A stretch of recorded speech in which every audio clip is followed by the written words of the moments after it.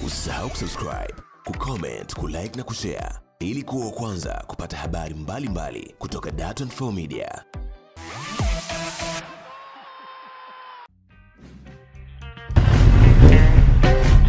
Mafuta Gad, jaza mafuta, lipa baadaye.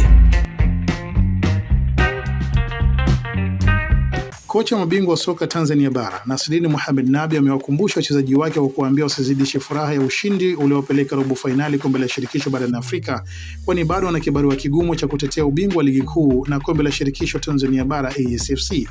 Kocha huyo kutoka nchini Tunisia ametoa kauli hiyo baada ya kikosi chake kujiakishia kucheza robo fainali kombe la shirikisho barani Afrika jana Jumapili kwa kuichapa US Monastir ya Tunisia magoli mawili kwa sifuri katika uwanja wa Benjamin Mkapa, Dar es Salaam.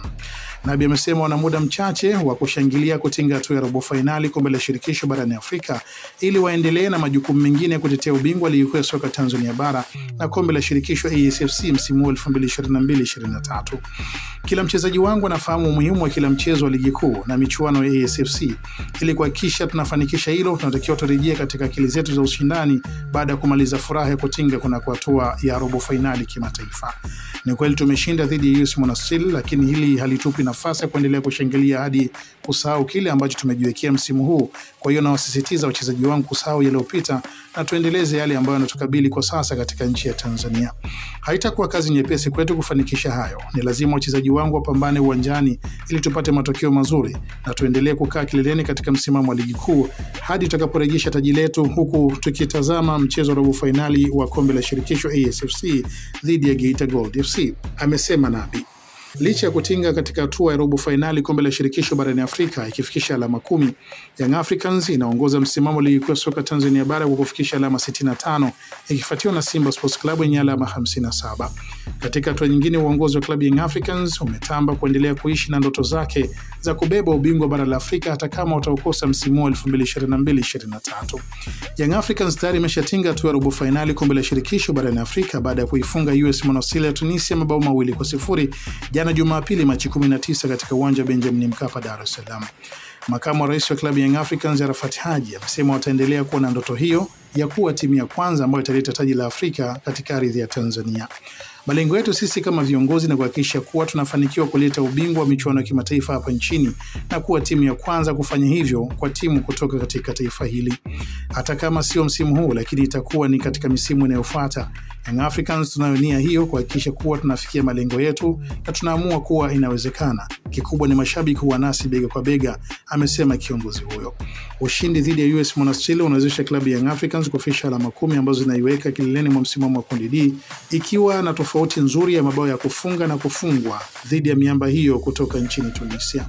Young Africans imebakisha mchezo mmoja wa kundi D ambapo watacheza dhidi ya TP Mazembe mwanzoni mwa mwezi Aprili katika mji wa Lubumbashi huko DR Congo. Wakati huo huo, Mtanzania anayesukuma kabumbu katika klabu ya FC Lupopo ya DR Congo, George Mpole amezipongeza klabu za Simba Sports Club na Young Africans kwa kutinga hatua ya robo fainali katika michuano ya kimataifa yaani ligi ya mabingwa barani Afrika na kombe la shirikisho barani humo. Simba Sports Club juzi Jumamosi Machi 18 ilihakikishia kutinga hatua ya robo fainali ligi ya mabingwa barani Afrika kwa kuifunga Horoya ya nchini Guinea mabao saba kwa sifuri huku Young Africans ikifanya hivyo kwa kuichapa US Monastir ya Tunisia mabao mawili kwa sifuri jana Jumapili Machi 19.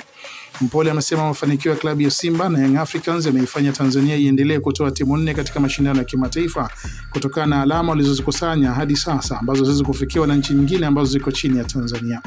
Mpole amesema ni wakati wa serikali ya Jamhuri ya Muungano wa Tanzania kuziangalia kwa jicho la karibu timu hizo katika hatua hiyo ili kuzipa motisha zaidi na wao kuendeleza ubora kwenye michuano hiyo ya kimataifa.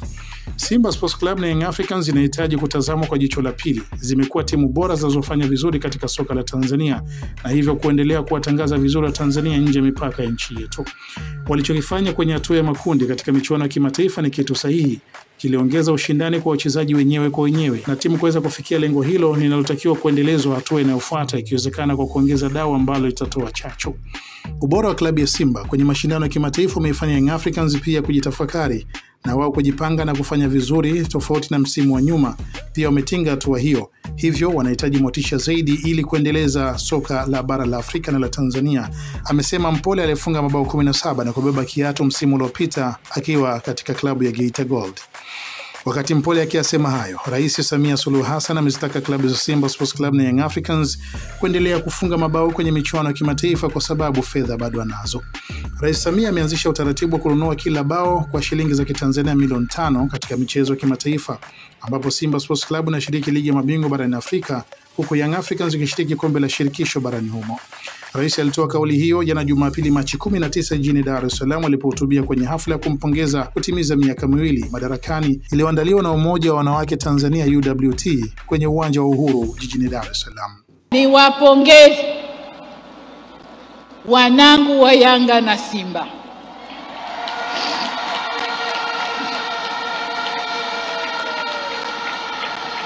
Nawapongeza Yanga na Simba kwa kutumia vizuri kwa kuitumia vizuri fursa niliyowapa ya goli moja milioni tano. Wameitumia vizuri sana. Kwa hisabu nilizo nazo, nadhani Yanga wameshalamba milioni thelathini na Simba jana thelathini na tano na nyuma nadhani walikula tano.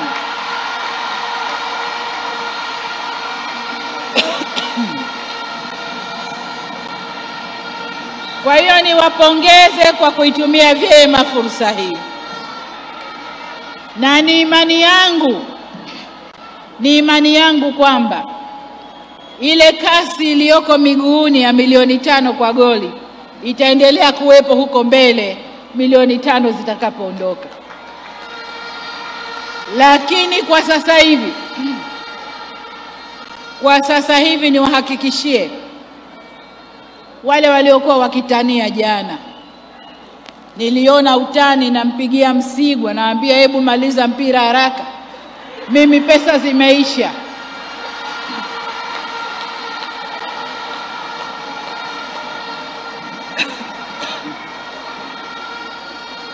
Michezo oye! Nataka niwahakikishie kwamba mama bado anazo, wekeni mipira kwenye wavu, bado zipo. Wekeni mipira kwenye wavu, jengeni jina la nchi yetu, bado zipo.